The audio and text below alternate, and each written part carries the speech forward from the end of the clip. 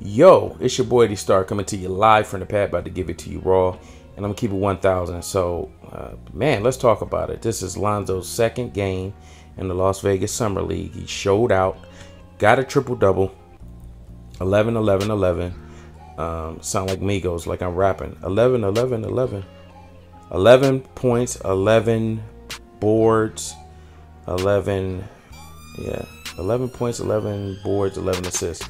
And who really showed up or who really looked like Scottie Pippen was Kyle Kuzma. He had 31 points. Uh, he was the leading scorer for the Lakers now that uh, Ingram was out. Ingram, uh, as you all guys already know, uh, has to sit out for the rest of the summer league. I saw people somber, but I'm I'm actually happy. I mean, he's clearly night and day, way better than what he was last season. To me, from what I've seen, it just seems that it's it was a mental thing. Now that that mental block is lifted, he I mean he has the demeanor that he knows what he has to do. He worked on it, and I mean he's to me he's just clearly better. So he had no business in the summer league anyhow. But that's going to be the shooter that Lonzo Ball is going to be getting his assist from, clearly. Uh, and and uh, uh, who else? That David, D- David Nwaba, he had 13 points, eight boards. Spark plug. Who I really wanted to see was was uh, Zubac because Zubac didn't have a, a great game that first preseason either.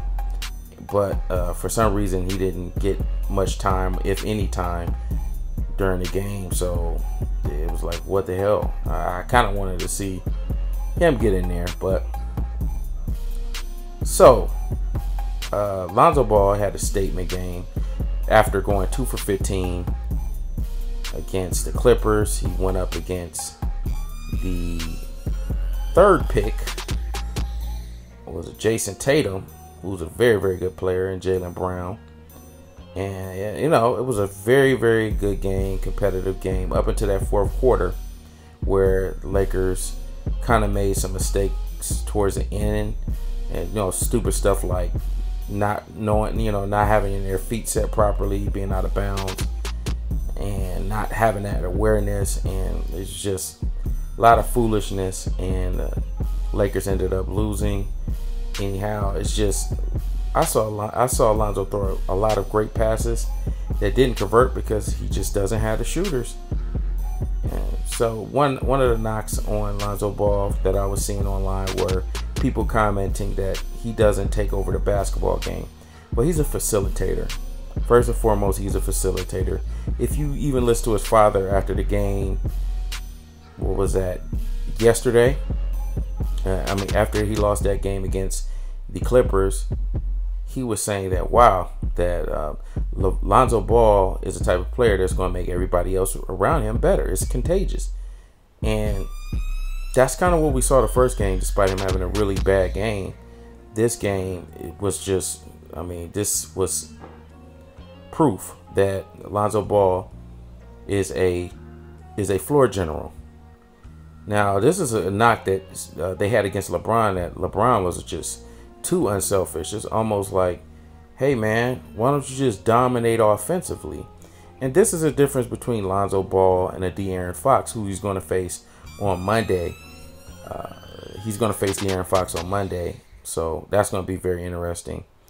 But De'Aaron Fox was a guy who allegedly owned him at the Sweet 16, as we all know. So this will this will be a game, I guess, kind of revenge because they hear each other and what everyone what everybody says. All the players listen to each other. So uh, Lonzo Ball versus uh, uh, what's his, what's his name? They're gonna get it cracking on Monday, but look, it's almost that when, when you when you have a player like Lon, Lonzo Ball, he's not gonna go for 30 points, and I mean he's not gonna offensively take over a basketball game himself. I mean he doesn't have that type of offensive command off top right now as a 19 year old going up against these. Uh, that'll come later. You know, he's not going to be Chris Paul out here, you know, dropping 30 and uh, you know with 10 assists and six rebounds every single game. That's just not going to happen. But what you'll get from a lot of these other point guards is that these guys will have like 30 points, but they'll have like four assists or five assists and you know maybe a couple steals or something like that. But nobody they, they, they got blown out and they lost. And this this uh, this is something that LeVar Ball had said after today's game was that hey it doesn't matter what his stats are. He could have a triple double he could have a quadruple double pretty much. All that matters at the end of the day is wins or losses. So you can you can be uh, as talented as you want, but if you lost the game, what does it matter? So, uh, LeVar Ball has a point, and Lonzo Ball knows that and understands that. But there's going to be a lot of games that the Lakers are going to lose. Uh, I think we're going to probably. I don't think we're going to make the playoffs. I hope that we do. I mean, you guys can cre- uh, comment down below who you think will get one through eight. Now, when you get down to the eighth spot, it gets kind of tricky. It gets kind of, I don't really know what's going to happen. But at least the first six are, are clear who the first six are in, in a um, Western Conference. But the seventh and eighth, that's kind of tricky. Uh, so I'll let you guys do that in the comment section. But there's going to be a lot of there's going to be a lot of losses this season. Uh, I don't think we're gonna make the playoffs. I hope that we do, but obviously uh, things may. Uh, I mean, it's going to take a miracle. It's going to take a breakout season by a couple of players. It's going to take Alonzo Ball. I mean, it's going to take Lonzo Ball. It's going to take Brandon Ingram and another player like a Jordan Clarkson or a Julius Randle who's in, in I mean, incredible shape incredible shape. I don't know if you guys seen those pictures, but Julius Randle's in incredible shape, and you, I, I mean it's going to take a breakout season for for three guys for the Lakers to get to the playoffs. I mean all three at the same time. So it's possible when you have a facilitator like Lonzo Ball. He's just going to make guys look better. There's going to be a lot of flashy plays, but uh, one of the one of the things that I see people say is that Lonzo Ball doesn't know how to offensively take over a game. And Robert Horry mentioned this earlier was that like you know he's he's I mean his comparison is Jason Kidd. Jason Kidd wasn't when he came into the league wasn't just dominating offensively. It came in time. And what happened? You know, he eventually faced the Lakers with the New Jersey Nets with Vince Carter think yeah, he, he, he faced it when Byron Scott was a coach. So I mean, when you have a Jason Kidd type player who who looks like it, I mean, from a, from a, from jump, that that is a hell of a that's a hell of a deal. You get some, anything close to Jason Kidd, that's a hell of a deal. So we'll see what happens. But uh, I mean, people if this guy doesn't have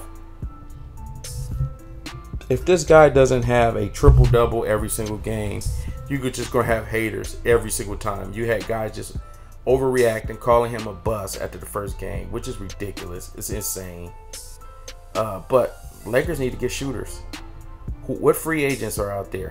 We got Rajon Rondo, we got Arron Afflalo, and we also have CJ Miles out there. We're still waiting on the, uh, the Ken talk with KCP with the whole Detroit being waived and or being renounced as an unrestricted free agent, Otto Porter being signed by Washington. Now Brooklyn, they go chase after KCP, and Lakers try to hope that Brooklyn doesn't offer him a multi-year deal. But because if they do, uh, they have the power to. They they can offer a multi-year deal. So Lakers are kind of waiting on Brooklyn Nets to offer Kentavious Caldwell Pope that that some kind of deal and see what he does because the Lakers are going to try to offer Kentavious Caldwell Pope a a, a one year balloon deal and try to get him to re sign for a longer term deal after that year. So uh, I, I, think it's a long shot that we get Kentavious Caldwell Pope. But we have to wait and see. And uh, looks like Jamal Crawford went with the Timberwolves. So uh, it's not really like breaking my heart. I was hoping that he would sign with the Lakers for a one year deal, but oh well, life goes on. So uh, Monday, right, that's the next game. They go against the Sacramento Kings. This is De'Aaron Fox versus Lonzo Ball. Forgot to mention Hart. Josh Hart came down a little funny. Looks like he injured himself. I don't know how serious that is. I don't know what the x-ray scans were or even if he got an x-ray scan. I'm pretty sure he did. But he had to leave the game. I hope it's not really nothing too critical, nothing too drastic, but you know, he came down kind of awkward when it, it was a collision. He was either going for a shot or he was going for a block or something, and he had a collision, and he he was just like in pain. He tried to walk it off, couldn't quite walk it off, but I hope it's nothing serious. Uh, but man, this man, this brother needs some shooters around him. It's your boy D Star. Like, comment, subscribe, and uh, I'm out. Peace.